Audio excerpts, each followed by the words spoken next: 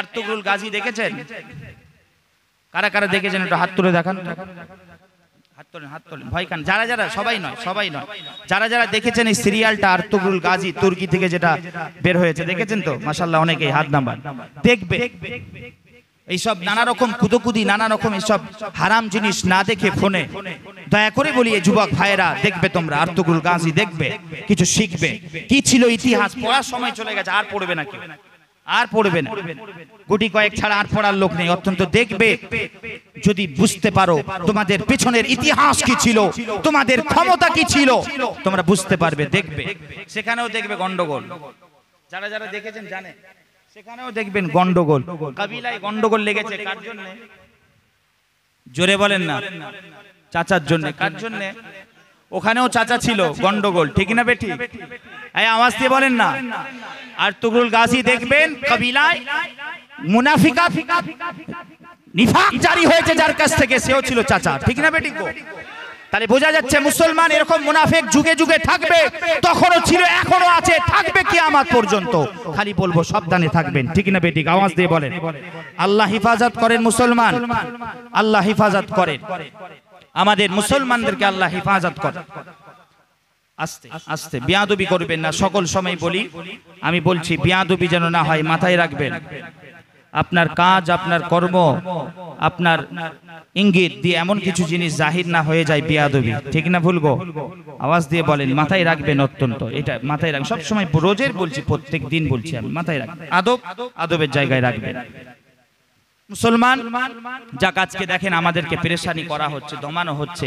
এই ধর্মীয় স্থানগুলো দেখেন আজকে ব্রিটিশদের দালাল, ব্রিটিশ চলে গেছে কিন্তু ব্রিটিশদের দালাল চলে যায় না। পুরো হিন্দুস্থানের জমিনে ব্রিটিশদের দালাল এখনও আছে। এরা কি করছে? এই নানা রকম ধর্মীয় স্থানগুলো, ধর্মীয় জায়গাগুলোই দেখেন হামলা করে হিন্দু, মুসলমান, নানা রকম উভয়, উভয়কেই লড়াতে চাইছে। আরও যত ধর্ম আছে হ্যাঁ এই খ্রিস্টানদের চার্চে পুড়িয়ে দিয়া, আগুন দেওয়া হয়েছে মণিপুর থেকে শুরু করে নানা রকম জায়গা। দেখেন এই যে করা হচ্ছে কেন এই ভ্রাতৃত্ব, এই ভালোবাসা যেটা হিন্দুস্থানের জমিনে যুগ যুগ ধরে চলে আসছে, প্রত্যেকটা জাতি একে অপরের সাথে কাঁধে কাঁধ মিলিয়ে যেভাবে চলেছে, এই সম্প্রীতিটাকে নষ্ট করার জন্য এই ব্রিটিশদের দালাল, কিছু এই রাজনৈতিক দল আছে, এরা চক্রান্ত করে এরা চাইছে যে এই সম্প্রীতি, এই ভালোবাসাটা যাতে নষ্ট করে দেওয়া যায়। কিন্তু আমরা এটা নষ্ট করতে দেব না। জোরে বলেন, আওয়াজ দিয়ে বলেন, দেব না। আমাদের ভারতবর্ষে হিন্দুস্থানের এই এই যে ঐতিহ্য, এটা আমরা নষ্ট করতে দেব না। আমরা মিল মোহাব্বত, ভালোবাসার সাথে থাকব। বিশেষ করে বলি, মুসলমানদেরকেই যেন, দেখেন, ধরে ধরে যেন টার্গেট করা হচ্ছে সব জায়গায় জায়গায়। কথা ঠিক না ভুলবো আওয়াজ দিয়ে বলেন না। দেখবেন, মুসলমানদেরকেই ধরে ধরে জুলুম করা হচ্ছে। মুসলমান খাস করে দেখবেন, খাস, যেখানেই যা হয় যেন দেখেন মুসলমানদেরকে। টার্গেট যেন, বিশেষ যেন, এরা যেন টার্গেট আল্লাহ হেফাজত করেন।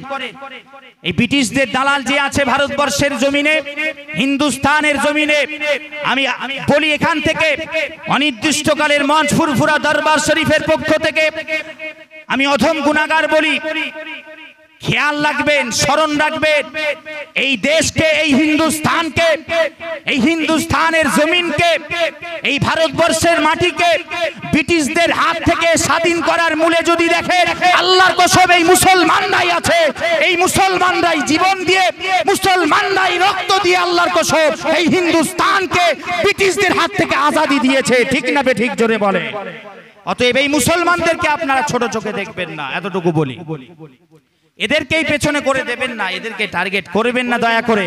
আজকে হিন্দুস্থানের উপরে যদি হামলা হয় অন্য কোন পার্শ্ববর্তী দেশ অন্য কোন দেশ যদি হিন্দুস্তানের উপরে অত্যাচার করে জুলুম করে যদি হামলা চালায় আল্লাহর ইজ্জতের কসম করে বলি আল্লাহ তাবারক তাআলার শপথ করে বলি সর্বপ্রথম যদি এই দেশকে বাঁচানোর জন্য প্রথম কাতারে যদি কেউ আসে মুসলমানরাই আসবে ঠিক না বেঠে?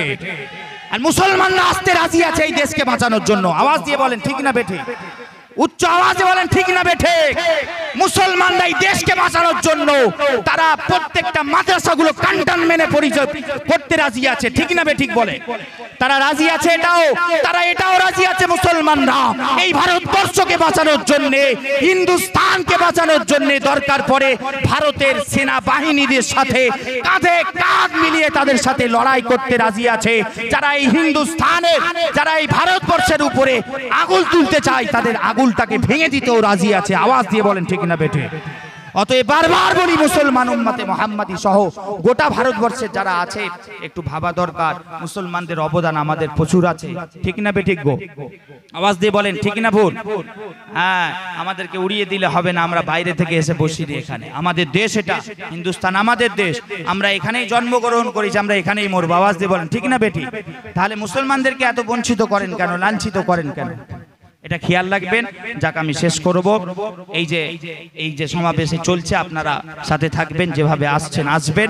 যতদিন না এর একটা হাল হচ্ছে, যতক্ষণ না কিছু একটা রায় দিচ্ছে, আমরা মোটামুটি আমাদের অনির্দিষ্ট কালের যে মঞ্চ, আমরা এটা চালিয়ে যাব। আল্লাহ পাক কবুল করেন। উচ্চ আওয়াজ বলেন, আল্লাহুম্মা আমিন।